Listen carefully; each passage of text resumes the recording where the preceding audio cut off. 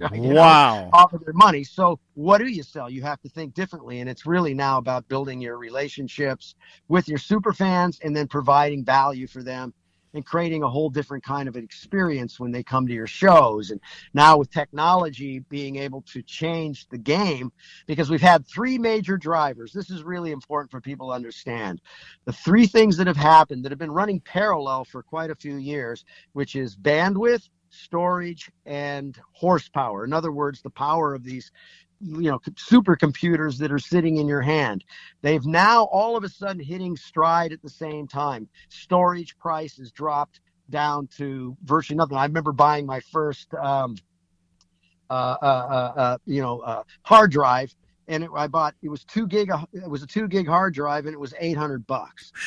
Now the other day i bought six terabytes for $300 that's a that's so, a that's a better value, I tell you that. And of course, with uh, the laptop I've had, it's just like you know, you know, I'm I'm kind of like an affordable guy. It's like I insist on so many terabytes at this price. So now it's just like instead gigabytes or kilobytes and and whatever else, it's like terabytes is a big thing. And of course, what's the next best thing in terms of bytes? Was was it going to be like um you know super bytes or something or uh, oh, no, ultimate bytes or what is it?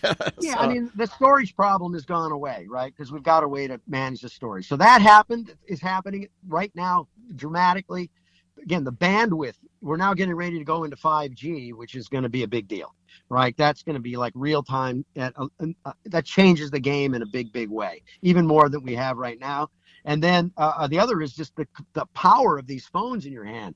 And so several of the things that are going to be happening that are going to be big is we now know intelligence is being built into everything. They're putting intelligence in into cement, into furniture, into uh, you know uh, uh, the uh, you know refrigerators and toasters. It's the Internet of Things. So everything is going to be uh, tracked and being able to uh, have intelligence. So we're moving into that, the whole world of AI and then the big the big one that's coming, which is blockchain.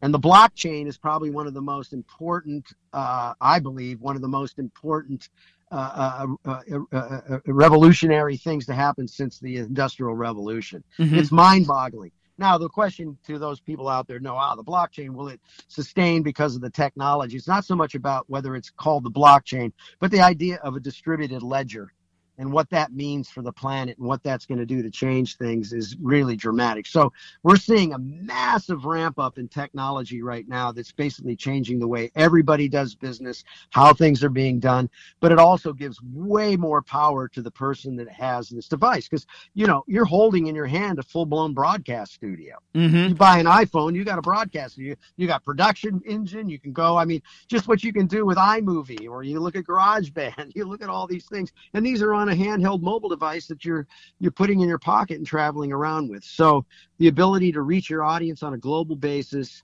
create create stuff, get it out there. It's it's happening and you know, again, if there's any artist out there listening to the show, I mean, get yourself educated.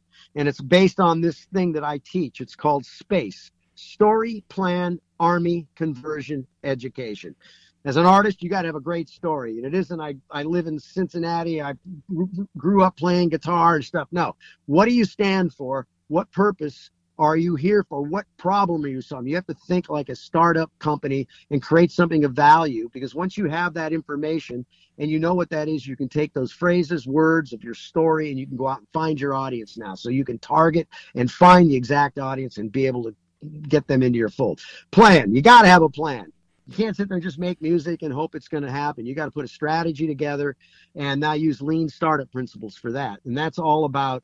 Uh, uh, I suggest go look up uh, the lean startup, and there's books out there on that. And there's a site called LeanStack.com and that's where you can go t- do a thing called the lean canvas which is a one page business plan.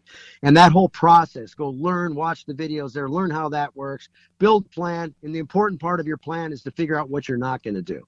Because the idea of lean startup is the idea of what's the smallest thing i can do that i can execute on that's going to give me the biggest bang for my buck right? And I guarantee you that's not go out and make an album and then go try to sell that album because mm-hmm. you can't sell albums anymore. So you got to figure out what that is. Then the army is figuring out who your super fans are and the people around you and, and getting them involved in your business to help you spread the word. So there's a whole super fan play. And then the C is the big one is the conversion. So it's, it's story plant army conversion. And conversion is I have fans but is this a business or a hobby for me? If it's a business, those fans are customers. How do I convert those fans into paying customers? And that's all based on learning about conversion funnels and understanding how to create value. And then E in my equation is education, because all those things I named above, if you're not going to school every day, and I mean like getting online, following the, the thought leaders, reading their blog posts, studying what's going on, you can't do any of it, and you'll miss the boat. so this is, like I said, the incredible time for an artist, but you have to get educated and you have to stay up to speed on what's going on.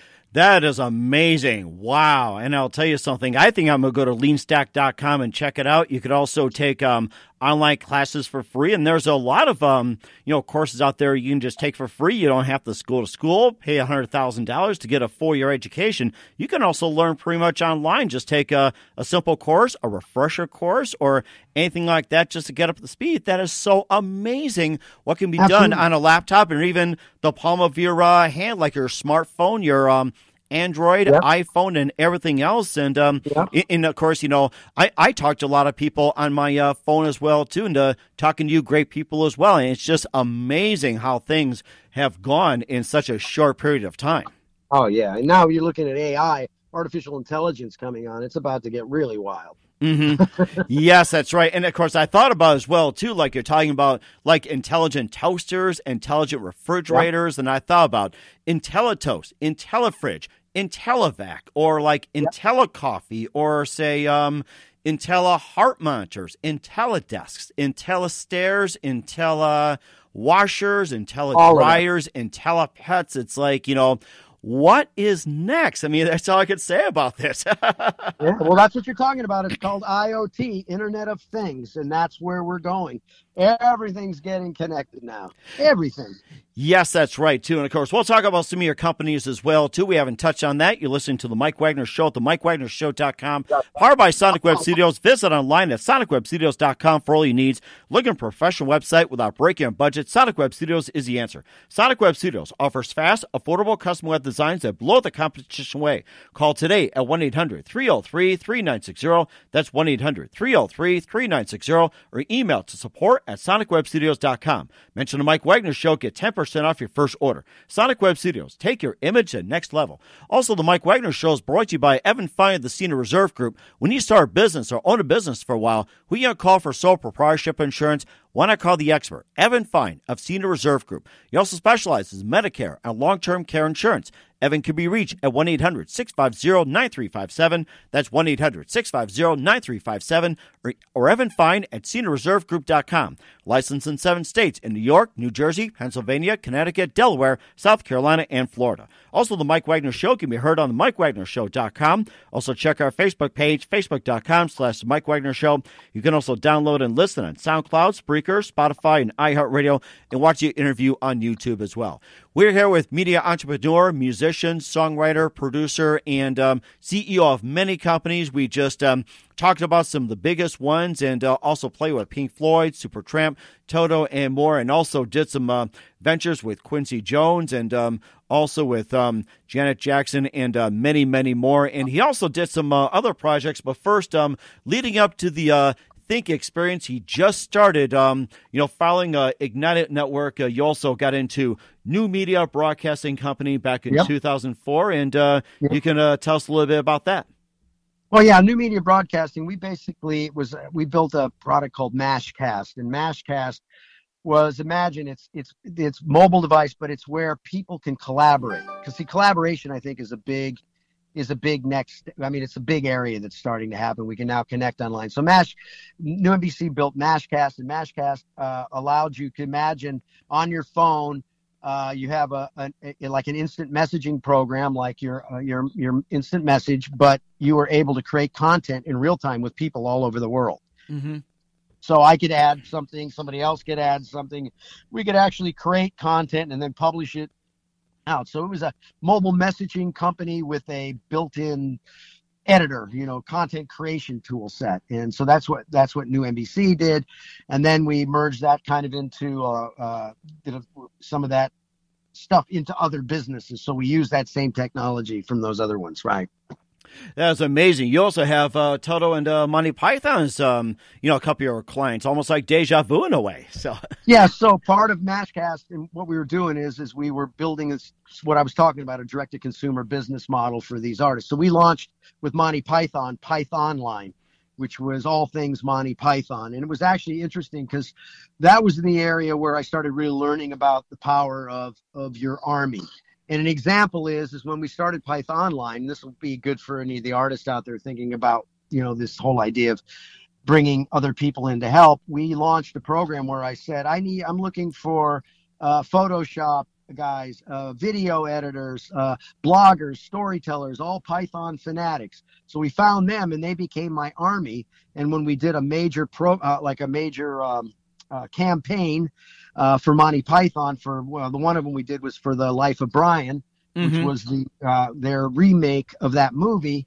We created a whole campaign where we needed we wanted people to take and put Brian into famous photographs and you had little kits you could download and put it with you could put them in your spaghetti and take a picture of it and upload it. Oh my gosh. so I got my I got the army to basically handle that and with the army, the Python army, we got like you know, five to 10,000 pieces of content and it was free. Didn't cost us anything. Oh my so gosh. I, I, I, enlisted the entire army to create all the content. And the value to them was I created opportunities for them to talk with the Pythons and to, uh, you know, get posters signed and things like that. So with the artist today, if you think of those terms, you create up some value, but you, there's a lot of people that care about you and care about what it is. Find those super fans. You'll be amazed on how much they'll come to help you. So that was what we did with the Monty Python series. we built Python line. Uh, and so, I, like I said, I've been in the tech space for quite a while, and especially in this kind of uh, communications and uh, you know two ways and sort of marketing and growth hacking and you know all those kinds of things. That is amazing, I, I guess. And now for something completely different, takes on a go. different meaning. Yes. oh yeah. I, I was going to ask you about Monty Python as well too. What was it like working with um, John Cleese, Eric Idle, and uh, the whole gang? Um, it's I mean it's really fascinating. I mean they're you know it's amazing. That's like probably the Beatles of comedy, right? There, every comedian looks up to Monty Python and does all that. But Eric Idle is probably he's one of the funniest guys. I mean he's amazing. Uh, you know Terry Gilliam who just blows me away as a director. Um, you know he's been awesome. So I mean I got to work with all those guys and record them when we did you know we I did three uh, uh, number one selling Monty Python game titles. We did Complete Waste of Time, which was our our our biggest one, and then we did the uh, the Holy Grail, and uh, also the uh, the the signs of uh, not signs of life, but um, what is it? Uh, oh, I can't think of it. The I'm meaning of life. The meaning of life. There yes, that's Thank it. One much. of my favorite movies, along with the Holy Grail and Life of Brian. Those yeah. were hilarious. yeah, so it was a lot of fun working with them because I worked very closely with them when we did those titles because I was producing all of those, and uh, you know, just great guys, and you know, very, very, very, very, very, uh, very funny, and very, uh, you know, interesting people to be around for sure. One of the most interesting as well, too, and of course, you know, it the fun just doesn't stop there. You went on to launch Direct to Care in 2011, an online healthcare presence management company. you just uh, yeah. tell us a little bit about that. Yeah, Get Your OPI was really a the idea of take you know today on the internet there is, you know, if you're a business, what happens is, uh, was this direct to care or get your OPI? It's a, it's um well well first uh it, d- direct to care and then uh, okay, we can uh, just segue over yeah. to uh, get your OPI. Yeah. It's okay. yeah, direct to care because they kind of came they moved from one to the other. Direct to care was an online presence management company for health for healthcare providers. You know because of Yelp and all of these things and the, the fact is there's all these different uh, sites where your name and your phone number and all that stuff goes up. There's no way to manage that. And if somebody gives you a bad, re- you know, review on Yelp, it can really hurt your business. Right. So the whole idea was building a presence management system that kind of monitors for healthcare providers uh, their their presence online uh, all over the internet, and so that they could manage that. And if there was any bad reviews, they could reach out uh, and to make sure that their their data and everything was correct across all the sites and everything across the internet. So that's what Direct to Care did. Uh, and then uh, OPI was taking that whole idea of that online presence instead of just doing it for doctors, we did it for everybody. So you as a business would go sign up an account, hit a button, and bring back all this data and reporting on what people are saying about your business, uh, any bad reviews, all that kind of stuff, so that you could manage that and make sure your presence online wasn't just getting trolled